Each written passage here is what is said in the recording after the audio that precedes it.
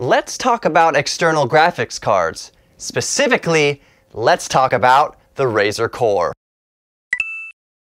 Now straight away, I want to say that the technology of external graphics cards, all that that makes it possible, is awesome.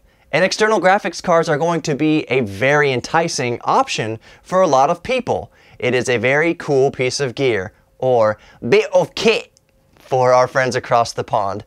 That was terrible. I'm sorry. Now let's get on. I wanted to discuss the rationale behind buying a laptop with a dedicated GPU versus buying a laptop or Ultrabook and an external GPU, an external Thunderbolt uh, Razer Core specifically. Mainly, let's look at budget and price. Now the Razer Core costs $500 just by itself, no GPU included. And for the GPU, let's use the GTX 960 and 960M, just for sake of argument. The GTX 960, at the time I'm making this video, cost around $200. So let's do some math. Right now, being that it's bleeding edge, the Razer Core is only compatible with the Razer Blade Stealth, which starts at 1400 US dollars. Now, if you buy the Razer Core with the Razer Blade Stealth, they'll knock $100 off the core, making it $400. So that's 1400 US dollars for the Razer Blade Stealth, $400 for the Razer Core, and then another $200 for the GTX 960. That's $2,000 plus tax. A $2,000 investment on something that still essentially you can't game on the go with. Now let's take a look at laptops with a GTX 960M already built in. There are options galore for under $1,000.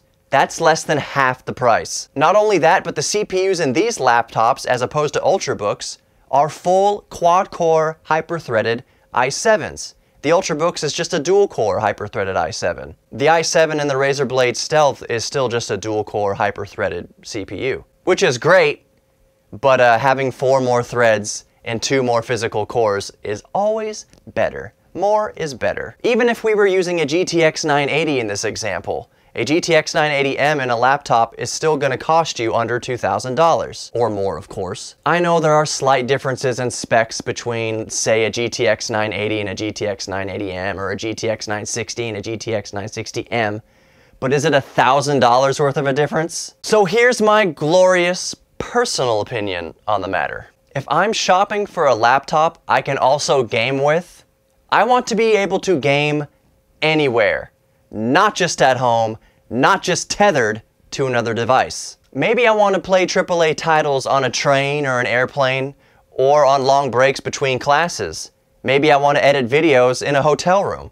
In any case, I want my Wrecking Ball CPU and my Bulldozer GPU right there in my backpack, ready to rock. And all that can be had for half the budget. Now, of course, as time goes on, more and more laptop manufacturers are going to get on board with the Thunderbolt external GPU standard, meaning that even a cheap $300 laptop could benefit from an external GPU, which is awesome.